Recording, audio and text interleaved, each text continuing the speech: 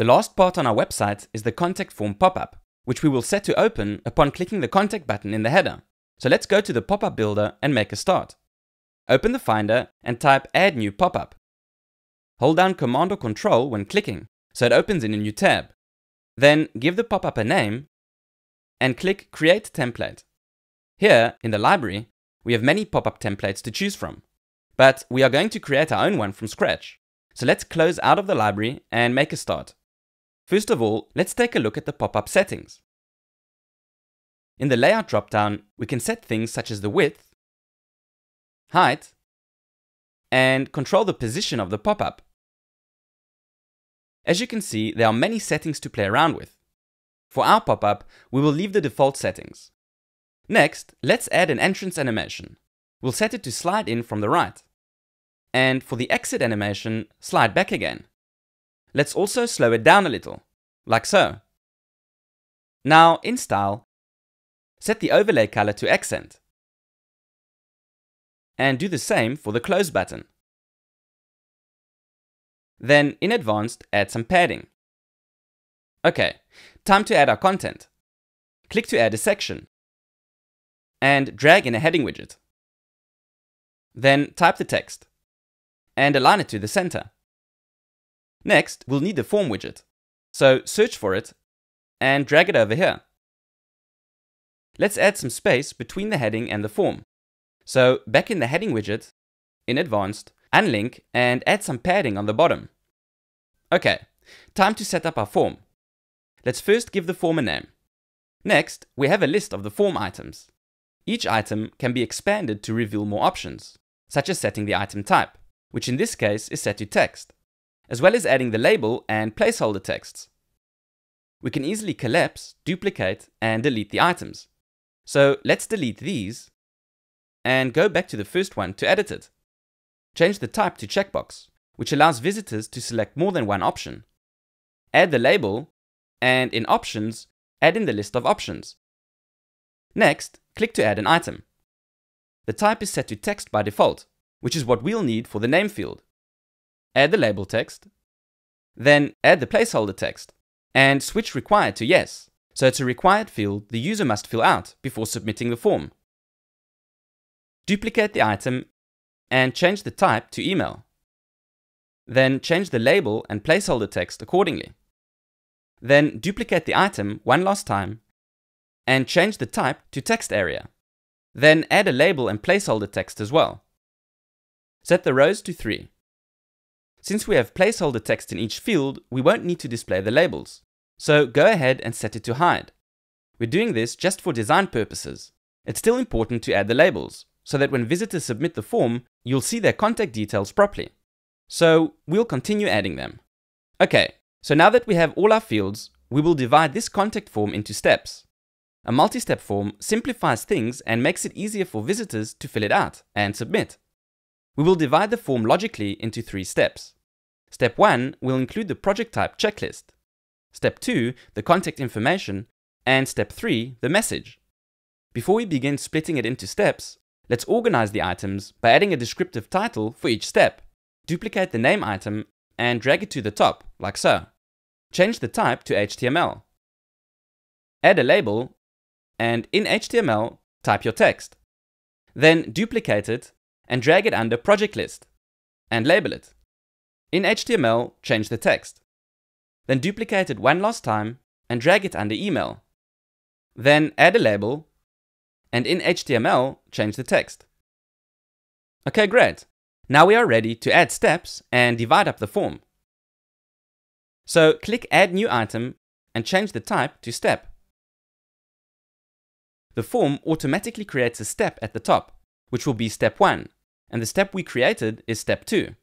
Select the first step and type project type in the label. Then select the second step and type about you. Duplicate this step to create step 3 and label it your message. Then to position the steps, drag about you over here and your message here. Great! As you can see, when clicking through the steps, the content isn't aligned. Let's control the section's layout a bit to fix that. Click on it to enter its settings, and change the content width to 500. Then give it a min height of 60 VH. Also, set the column position to top so the content we added will automatically appear at the top of the section. Now, let's take a look at some of the form settings. In buttons, you can change the size of the buttons and edit the text for the next, previous, and submit buttons. Actions after submit allows you to choose what will happen after the visitor submits the form. By default, it's set to send an email notification. Since email is selected, you will see the email notification options below. You can change where the email is sent, the subject, message, and more. Let's add another action after submit. Search for pop-up, and in the drop-down that appears, set the action to close. That's all. So now, after visitors submit the form, the pop-up will close automatically with the exit animation we set earlier. In the step settings drop-down, we can change how the step titles appear. And in additional options, you can add a form ID and switch custom messages to yes if you'd like to add any of your own custom messages. Let's change the success message. Okay, let's move on to style the form. Increase the rows gap a bit to add spacing between the form items. Next, change the label text color and HTML field color, as well as the field text and border colors. You can change the border width too, like so. Now let's change the button's background colors for the normal state and also for the hover state. For perfectly straight corners, change the border radius to 0. Then increase the text padding to 20 to add some space between the text and button edges. In messages, change the success message color to primary. And for the error message, use the accent color to make it stand out in case of a submission issue. Next, in the steps dropdown, you can change the steps typography, spacing, and padding, and set the inactive active, and completed step colors. Let's also tweak the divider width and gap a bit, like so. Then, in advanced, add some padding around the form. Perfect, the form looks great. Now, let's make sure it's optimized for mobile as well.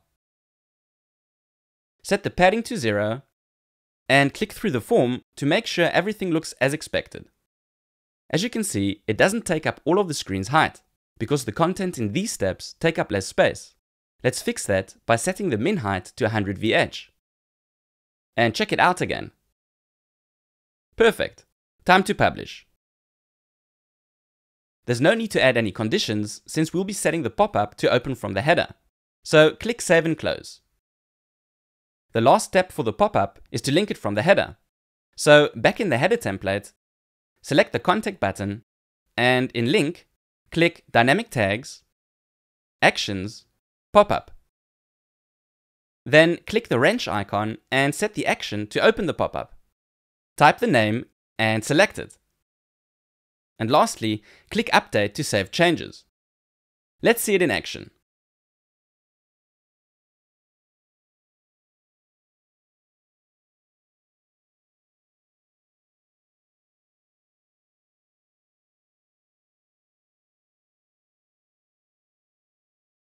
Awesome. Now that we've finished building the website, it's time to check out the final result and see how to use our design system to apply changes globally throughout the site. So continue watching.